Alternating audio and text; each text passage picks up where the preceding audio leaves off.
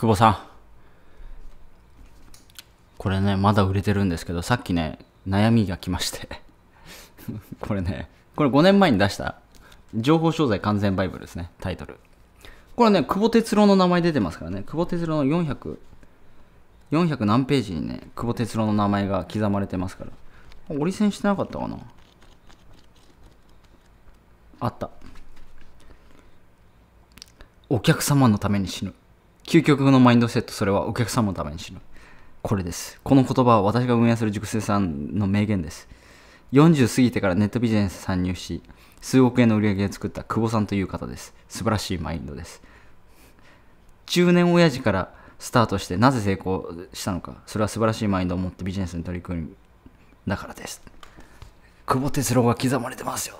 哲郎でね、この本で悩みでね、これまあ得点申請すると悩みね、この100時間も意味150時間ぐらいになってるんですけど、このね、得点、超得点を申請すると悩みを教えてくださいっていうフレーズがあって、久保さん、これってまあだいぶ前に出てるけど、まだ使えるんですか？みたいなね。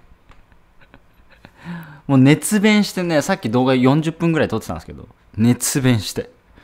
で、熱弁して喋り終わった後、久保哲郎からの動画が来てて、まあ動画チェックしたら、同じこと言っとるやん、みたいなね。なんだこのシンクロニフティみたいなね。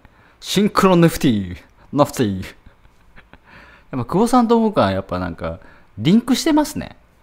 もう面白いほどリンクしてます。何なんですかね気持ち悪くなりましたね。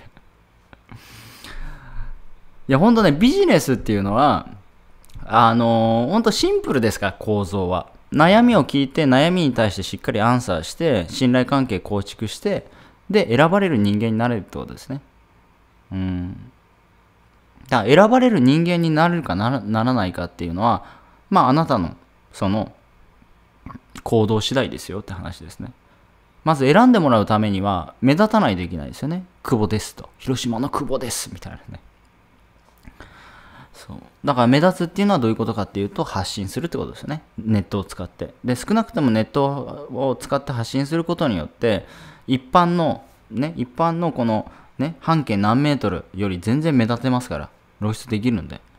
もちろん最初はね、全然見られなかったりするかもしれないけども、まあちゃんと、あの、勉強してちゃんとやれば、あの、その露出は増やすことは可能です。うん。で、あとはその露出が増えて自分を見てくれる人に対して悩みを聞いてそこで深く関係性を構築して、あとは最後商品をセールスして売るだけ。ただこれだけですね。もうほんとこれだけ。だからね、なんか難しくないんですよね、実は。超簡単。うーん。まあいろんなテクニックはもちろんあるんだけど、構造、うん、骨組みというか、それは、まあ柱がね、立ってるっていう、ただそれだけなんですよ。ね。家もね、柱が立ってるから家が立つんじゃないですか。柱がない家ってありますないでしょ。どうやって柱がなくて家立つんだ空中に浮いてんのか？みたいな。そなんか宇宙船か？みたいなね。その構造は変わらないですからね。うん、デザインは変わっても構造は変わらないと。ね。だって柱がなかったらね、2階建てで無理ですよ。まあ平屋だったら別、平屋でも屋根、屋根つけるのに柱なかったらきついだろうし。ね、久保さんね。だからまあシンプルなことをどれだけ愚直にできるのかっていうのが僕がいろいろやった結果、まあ行き着いた答えですね。うん。そう。な感じですかね。はい。